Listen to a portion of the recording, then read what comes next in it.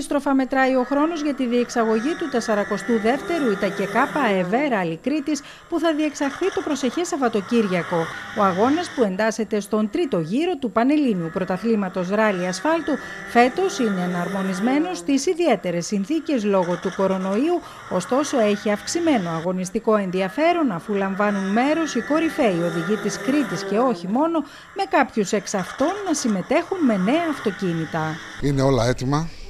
Ε, κάτω από ιδιαίτερα αντίξωες συνθήκες καταφέραμε να διοργανώσουμε έναν αγώνα ο οποίος μάζεψε 22 συμμετοχές, άθλος για τα δεδομένα της εποχής ε, υψηλού επίπεδου και απαιτήσεων για την Κρήτη και τα δεδομένα της Κρήτης.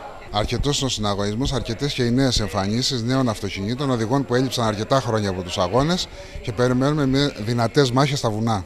Δυστυχώς, ακολουθώντας τα πρωτόκολλα του ΕΟΔΗ, δεν θα υπάρχουν ε, στις ειδικές διαδρομές θεατές, απαγορεύονται.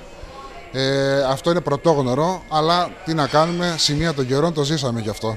Το φετινό ράλι Κρήτης περιλαμβάνει δύο ειδικές διαδρομές, επαναλαμβανόμενες τρεις φορές συνολικής απόστασης 61,2 χιλιόμετρων.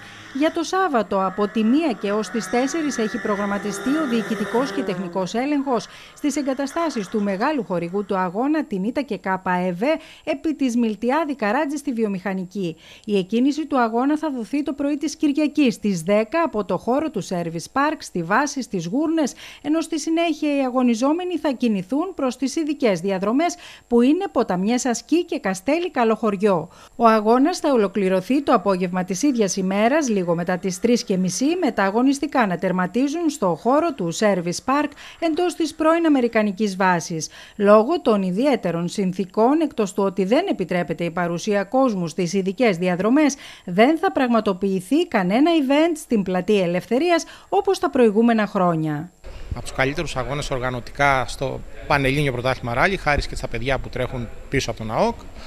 Ε, πιστεύουμε θα έχουμε και ένα καλό αγώνα φέτος. Αναμένεται έντονο συναγωνισμό σε όλες τις κατηγορίες. Έχουμε πολλά καινούργια αυτοκίνητα. Η οδηγία εδώ στην Κρήτη νομίζω ότι είναι από τους δυνατότερους στο Πανελλήνιο Πρωτάθλημα Ράλι. Θεωρώ ότι ο συναγωνισμός θα είναι σε ψηλά επίπεδα. Ε, σε τέτοιους αγώνες, σε τέτοιες περιπτώσεις, νομίζω δεν υπάρχουν προγνωστικά. Αξίζει, αν θα μπορούσε ο κόσμος να πάει στο βουνό, θα ήταν καλό. Αλλά με τα δεδομένα που έχουμε τώρα, δυστυχώς θα είναι χωρίς και κλεισμένο το θηρό, να το πούμε. Ε, προγνωστικά, όχι, δεν μπορούν να γίνουν. Μπορούμε να παραλείψουμε το μεγάλο χορηγό του αγώνα, την Hyundai Ita και Κάπα.